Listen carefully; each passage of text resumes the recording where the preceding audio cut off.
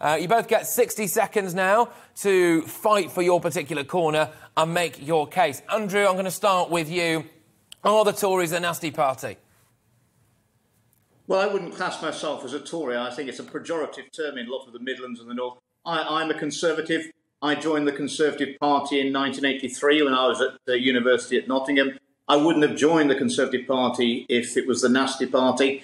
We are the, the party of government. Tough decisions have to be made, and you can't make any decision without upsetting someone. But we are a one nation Conservative Party. We're not the divisive politics of the Labour Party, which is, you know, for, for the many and not the few. Well, they'll decide who the few are, and you might be one of them, in which case you better watch out. I've never called my political opponents uh, scum at any stage of my political career. And, and I've got a lot of time for Stephen Pound. He's a great old Labour MP driven out of Parliament by the Corbynistas at the last election.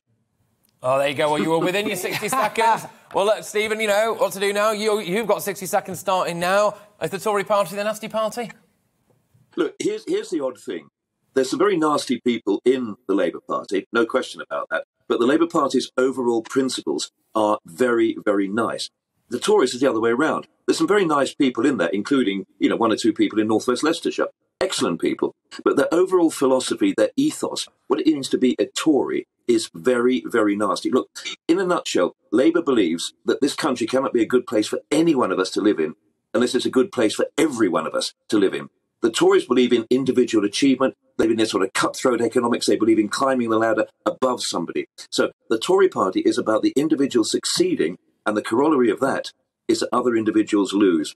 They can talk about levelling up. I'm sorry. As far as I'm concerned, to be a Tory means the individual levels up, but underneath that person is a whole raft of people who are suffering. We believe in a good country for every single person. We believe in the collective, not just the individual. We, you were bang on, bang, bang on, on, your 60 he's, seconds. He's got a little egg timer. He's got an egg timer uh, later. you can't, you can't teach that, Stephen. You can't teach that. Right, which one are you going to take aim at first? Well, I think I'm going to take aim at Stephen there with what he said there because uh, uh a lot of the policies that the Tory party have actually put together are things that would be out of the Labour Party playbook, I would say. So I kind of feel that the Tories aren't actually being that nasty and they're being quite nice, really. They're looking for uh, wages, uh, higher wages for all, really, aren't they? Rishi Sunak mm. was very, mm. very, very uh, direct with that. Instead of cheap labour from Europe, I don't know, it's difficult to say, but I think on balance, really, Andrew swung it for me. OK, all right. Well, that's that's that's good stuff. But we have to now get stuck into the wider debate. So you mm. jumped straight to the conclusion. Oh, did I? Sorry, sorry about that's that. absolutely fine. I couldn't help it. I couldn't help it. I, I might change my mind though. Yeah. Well, this is you go right. I'm, very... I'm going to give you the going to give you the chance now. Change Nana's mind. Change the. She's normally a perfect. Riff. She normally holds a mirror up to the nation. So I, am sure you change uh, you change everyone's minds if you can. Look. I, I mean, the Labour Party. Well, I, I have to say, um, uh, you're not it? the first woman to have been won over by Andrew Bridgen. Um, sadly. But the, the, no, no, I mean I mean that politically, obviously. You know, what other way could I possibly mean it? Uh, but look, when you've got a Tory party that actually talks about pushing back immigrant votes, people who are desperate to leave their home country, trying to get to this country. And instead of addressing the issue of immigration in a sensible way, at the source, actually looking at why people are coming here, at the at the push factor rather than the pull factor. You know, the idea that you can actually have a Home Secretary talking about shoving people backwards in boats when they're obviously they're just going to jump off. There's things like that. But ultimately, you can talk about the individual cases and, you know, I was going to say till you're blue in the face or till you're red in the face, makes no difference. But ultimately, to be a conservative means that you succeed at the cost of someone else. To be Labour means we all succeed. We, every one of us, we're all in this together to coin a hackneyed phrase. Mm, okay, Andrew, you're going to come come back to that. Then you're obviously as far as as far as no, I, no, clearly. I mean, I, I believe that a, a, rising economic tide lifts lifts all boats. Um, we're in a situation where the tax burden has never been higher in this country post COVID, yeah. and the top one percent of earners are paying 29% of all the taxes. Um, that's a considerable burden upon them, and that is, is, is releasing that, that tax burden uh, from those at the poorest end of, end of, our society.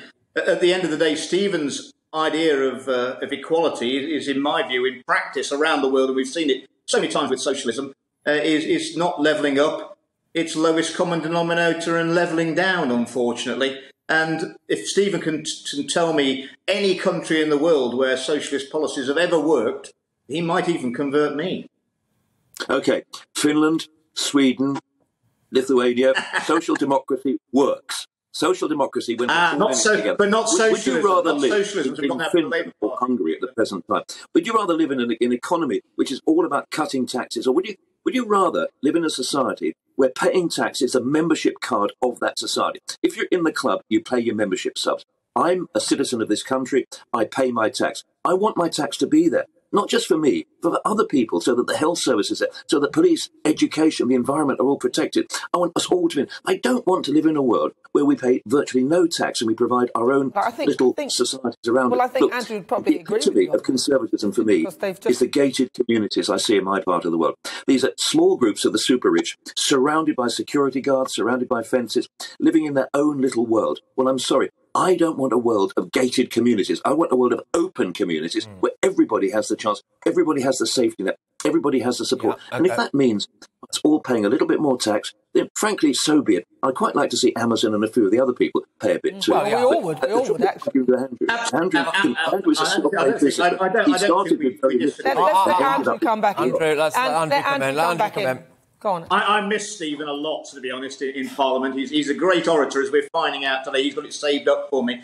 Um, yes, taxes have got to be pitched at the right level, but I'm a, a believer in the Laffer curve. If you make taxes too high, you actually destroy your own tax base, as well as punishing success. I want to reward success. We should crack down on the tax evaders and the avoiders. Uh, absolutely, they are cheating the system. I, indeed, I raised a question only two weeks ago uh, with the Secretary of State for Business, Kwasi Kwarteng, about how we could crack down on corporate tax evasion, and I'll be meeting with him to do that. But look, ultimately, just I also see sorry, that the government doesn't spend people's money well, and I think we leave more money with, for people to spend. uh, That gives them more freedom. Because not having any money is, is not about being poor, and it's about a, a dearth of choices, and that's what wealth gives you. It doesn't buy you friends' happiness or health, it buys you choices, and poor people, they have no choices, and I want to give them more choices in their life. Okay, I understand that. Let's just get back right with the specific focus of the nasty party element of it now. And I'd just like a quick one to each of you because we're a bit pressed for time. Andrew, you know, when it looks like we can't feed some of Marcus Rashford's hungry children, you know, that does look a bit nasty. Well, it's, it's, it's the look and the, and the tough decision. Ultimately, I think, uh, and I'm a, a parent myself, the greatest pride I have is going out and, and bringing home money to feed my own children. And I think to take that away, uh, that, that responsibility and, and that source of pride away from, from individuals is a difficult balancing act against those who can't provide for their children. It's about targeting the help to those who are in genuine need, not not blanket uh, support across the whole of, and basically infantilising our own nation. Mm, I was going to just mention the twenty pound that's taken Yeah. taken away for universal credit. I just, you know, a lot of people might think that's quite nasty. Potentially, potentially I've. I've got I've gone on the, I've gone on the record and said I think it's uh, immoral and politically impossible. I think the government will actually change the taper to allow those who are in work uh, to retain another twenty pounds, and for those who can't work, we need to keep the twenty pounds in place. We're heading for a time of high inflation. It it can't happen. Okay, all, all right. Stephen, last one to you now then. Persistent claims of anti Semitism within the party. I think uh, uh, uh, an unrelenting cancel culture and a deputy leader who thinks all Tories are scum. Labour's pretty nasty, aren't they? Well, okay, to take the one out, I mean, I think hopefully the, the, the, the, the nightmare beast, the horror of anti Semitism has been buried. I think we're pretty clear where we are now. Um, the Labour Party has said to a number of people who hold profound, disgusting anti Semitic views, there is no place for you in this party. They're out, they're complaining, they're whinging, they're screaming from the sidelines, but so be it, they're, they're, they're out of it. Uh, as for Angela Rayner's comments, you know, Angela spoke from the heart, but she didn't speak from my heart. Um, and I don't think she spoke from the heart of many Labour people. I think she probably regrets it. Uh, I think Doesn't. people always say no, that they're tired of bland, I was gonna say faceless politicians. As soon as somebody shows a little bit of personality, a bit of character, you come down on them like a ton of bricks. You can, we can have a beige politics by all means, or Mm. we can have the occasional person like Angela Rayner, who may set your teeth on edge, but at least she gets your attention. Both of you, brilliant. I. I, I, I, I would come back and just and just say, Very bear in mind that Keith Vaz is still a member of the Labour Party. If he'd been a Conservative, I knew his you'd raise feet would not have, would not have, having a little his scrap. feet would not have touched the ground as he left the building.